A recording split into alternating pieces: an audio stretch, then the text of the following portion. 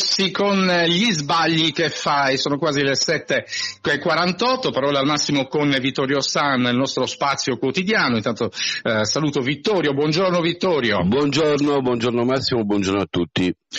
Allora, caro Vittorio, ci vogliono cambiare il Natale, o perlomeno vogliono cambiare nome, non sarà più Natale, ma forse si chiamerà Festa d'inverno, perché l'Istituto Universitario Europeo vuole rinominare questa festa e mm, cambiare per permettere a tutti di riconoscersi in un momento di serenità. Quindi questa mossa eh, sarebbe inquadrata all'interno di quanto previsto dal piano per l'uguaglianza etnica e razziale. E appunto tra le prime proposte è quella di ricorrere al nome Festa d'inverno. Ovviamente nessuna decisione è presa, c'è un dibattito in corso, questo l'ha detto il segretario generale dell'Istituto Universitario Europeo Marco Del Panta. Cioè, eh, vogliono cambiare il Natale, forse non, non si rendono conto, secondo me una decisione fuori luogo, ci dimostra la mancanza di rispetto per le tradizioni italiane, non solo, anche per il significato profondo che il Natale ha per tantissime persone, no? Sì, eh, invece di recuperare il significato profondo esaltano il momento consumistico, perché poi di fatto è questo. Il Natale già da tempo è diventato qualcosa di meno religioso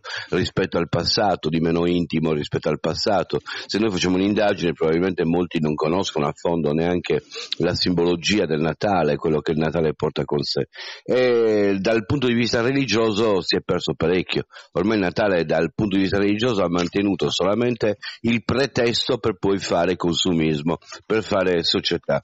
Ed ecco che addirittura il, invece che rilanciare il concetto religioso attraverso i valori di una religione, che sono valori di tante religioni, direi quasi di tutte le religioni, per riuscire a far capire che i valori del Natale sono universali, non sono solamente legati al cattolicesimo e al cristianesimo, invece di fare questo si fa l'esatto contrario, cioè si leva tutta la matrice religiosa per tentare di trovare solamente i valori attraverso l'invocazione di questi valori, che andranno persi se si fa questo, perché è preferibile fare il processo inverso, mantenere la radice culturale del Natale e religiosa, fare in modo che si capisca che la matrice religiosa veicola dei valori che sono universali e fare in modo che tutti si riconoscano non tanto nella festa religiosa ma in quei valori universali. È sempre questo il problema. A scuola molte volte mi sono posto il problema, ad esempio, in periodi simili a questi, perché sto parlando di circa vent'anni fa,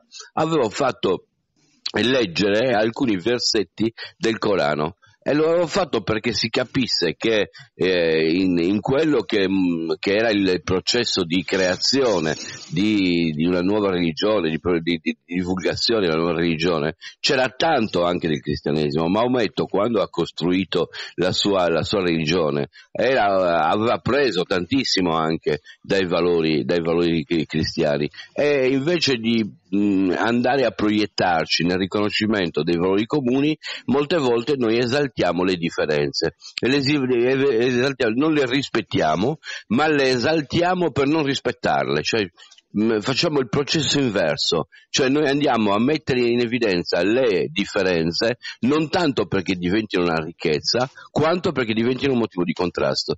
E anche in questo caso rischi veramente di annacquare tutto, far perdere l'identità, non riuscendo a valorizzare l'identità. È incredibile, sembra quello che dice l'Unione Europea sia, scusa, il Vangelo quasi, no? Perché è, è, è, praticamente vogliono, vogliono praticamente controllare e fare in modo che ci sia una universalità attraverso altri concetti invece che ricercarla nell'essenza delle cose. Cioè non la cerco dentro il Natale, questa universalità, la cerco in tutto quello che il Natale poi ha prodotto e che molte, molte di queste cose che ha prodotto sono addirittura in contrasto, il consumismo esasperato ad esempio, è nettamente in contrasto con i valori del Natale. Allora, cambiamo argomento, un messaggio che è arrivato ieri, io l'ho conservato ad oggi mm, te, te lo riassumo, mm, praticamente questo messaggio dice che raramente Claudio Ranieri non si è presentato davanti alle telecamere dopo una partita, non neanche dopo le sconfitte, eh, lui ci ha messo sempre la faccia, quindi persona rispettosa, soprattutto del lavoro dei giornalisti. Però domenica ha saltato la conferenza stampa, segno che ciò che è accaduto in campo lo ha profondamente infastidito. Eh, e quindi ti chiedo, ha fatto bene bene, c'è da gran signore qual è un silenzio assordante che vale più di mille parole probabilmente, o no? Se Secondo scelto, te? Se ha scelto lui è probabile che potesse essere questa la, la, la motivazione, ma bisogna vedere se ha scelto lui. Non dimentichiamo mai che comunque Claudio Ranieri risponde, è, è un dipendente e se non dipendente risponde ad una linea societaria. Se dopo la partita la linea societaria era quella di ci facciamo sentire noi come società è meglio che non si esponga l'allenatore. All'allenatore è stato chiesto di non esporsi e è stato chiesto magari abbonato di rappresentare la società. Il, il successivo tweet di, di, Giulini era in questo senso, a mio giudizio, quello di eh, esporre, esporre la società invece che esporre la guida tecnica o i calciatori.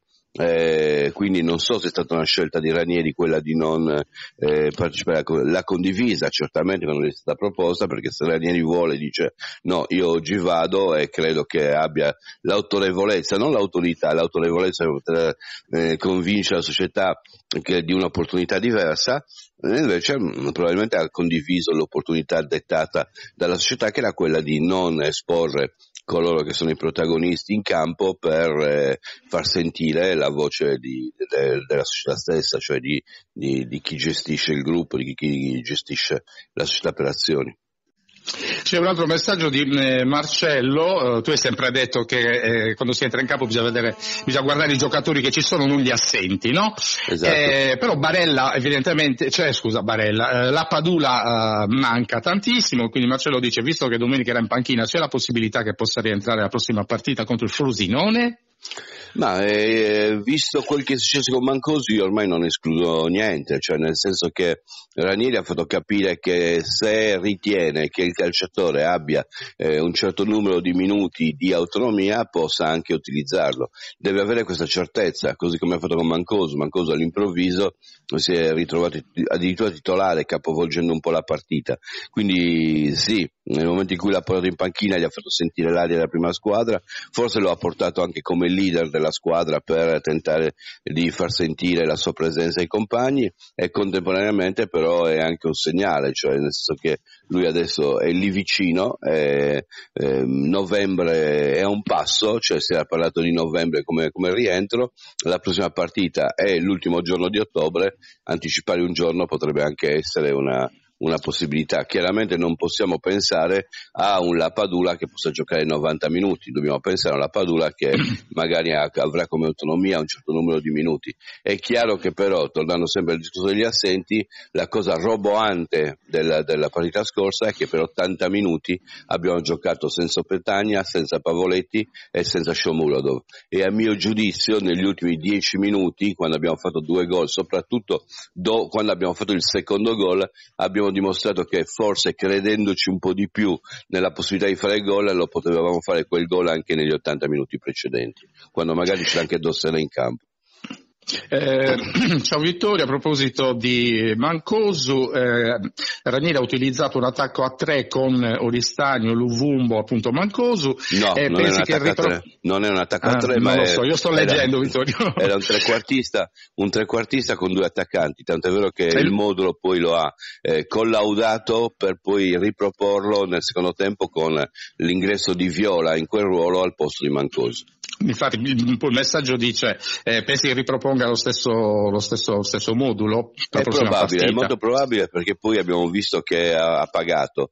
Io proporrei però un, una coppia di attaccanti veri, cioè nel senso che Luvumbo va bene, Oristano va bene, ma secondo me uno è in alternativa all'altro e metterei un attaccante di peso, cioè o Sciomuro che è la, il cavalleggero nella zona d'attacco o, o Petagno Pavoletti. Io devo essere sincero, domenica eh, dal sessantesimo in poi per almeno 20 minuti ho reclamato il mancato intervento, il mancato ingresso di Pavoletti, che a mio giudizio era l'uomo giusto per quella partita, considerato che un, è un giocatore di quelli che fa la guerra dentro l'area di rigore e noi ne abbiamo fatto passare diversi palloni all'interno dell'area di rigore che sono passati alti rispetto ai giocatori che avevamo e in un'area poco affollata ehm, insisto, secondo me eh, abbiamo dimostrato dopo aver subito l'1-1, quando abbiamo fatto il 2-1, che avevamo le potenzialità per segnare anche nei, non negli 80 minuti precedenti, ma anche e soprattutto nei 20 minuti precedenti.